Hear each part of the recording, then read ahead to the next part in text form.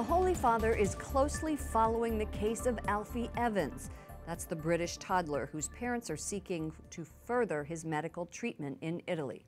And as we mentioned earlier, Pope Francis met today with his father, Tom Evans. The Holy Father also addressed the issue with pilgrims and tourists gathered for his weekly talk. Francis said, I'd like to repeat and strongly confirm that the only owner of life from the beginning to its natural end is God. Joining us now to discuss end of life issues is Dr. Grazie Christie, Policy Advisor for the Catholic Association. Welcome back to the program. Thank you for having me again. The case of 23 month old Alfie Evans.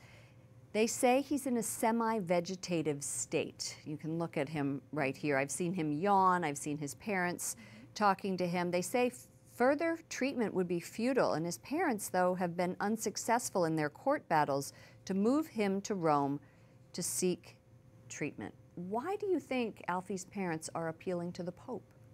I think that they feel safer and more comfortable with a Catholic medical ethic approach to their son's life.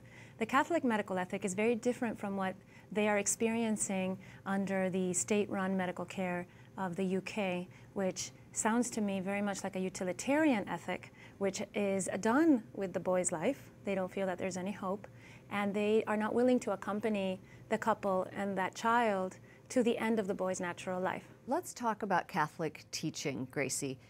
Why do you think they are going in this direction, extraordinary versus ordinary care? Let's talk about that. So it's, we have in Catholicism a very detailed, very um, very complicated but very beautiful way of dealing with end of life issues, which is very deeply thought out. And the idea is that um, we use ordinary means to keep a person alive, the things that are ordinarily expected, like nutrition and oxygen and water. Um, but that we don't have to use extraordinary means to prolong life because as Catholics, we're not afraid of death. What we're afraid of is not supporting our brothers and sisters to the end of their natural life. So we draw a beautiful balance between um, rushing out of life or rushing someone out of life and um, not doing enough to accompany them.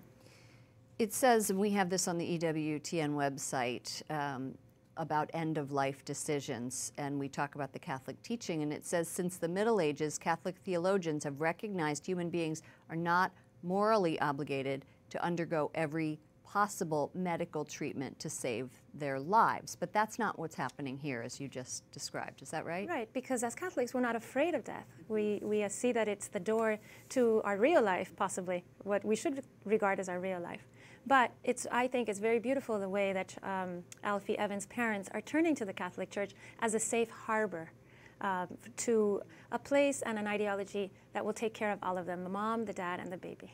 Thank you so much, Dr. Grazie Christie, Senior Advisor to the Catholic Association. Thank you.